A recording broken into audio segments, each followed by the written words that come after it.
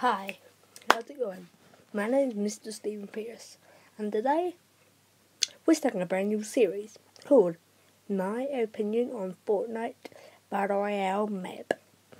So, in this series, we'll be going to each location, new and old, no matter what, and I'll be talking about its future in my own opinion. So, this is going to be episode one, and today we're going to be focused on Happy Hamlet. So, the first thing that I think will happen to Happy Hamlet is obviously the snow will melt. The snow will melt in season 8. And then, obviously, the big flood will come and then it'll be flooded. But then, we all know Lucky Landing. I think it'll become a normal town like Lucky Landing.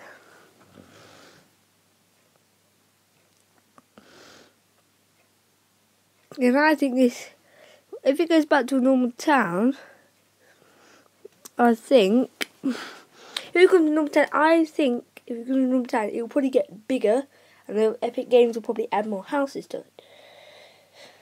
So it it's not exactly going to be a big landmark. But I think, because he's, let's just say, let me just get a good pen out. This yellow should do the trick. So let's just say,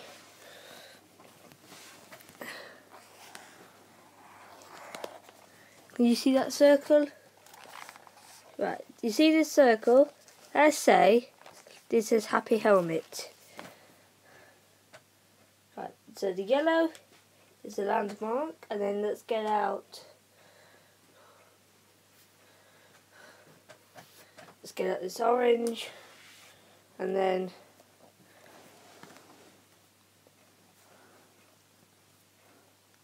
let's just say there's going to be a there'll be a path going all the way down here, and then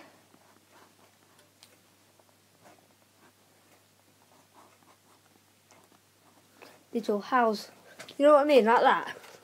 So it's going to be like, so it's obviously like that. Yeah, the yellow circle is is like the perimeter, and then there'll be like a little path like there, and then there's obviously the houses.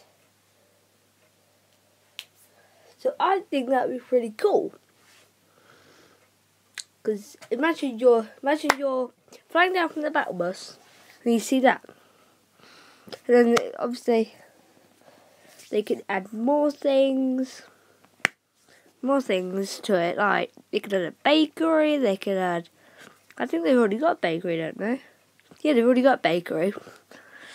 I'm like things like that, more town things. So I hope you did enjoy this first episode of this brand new series, Fortnite, in my opinion. But this is the end of episode one, so goodbye.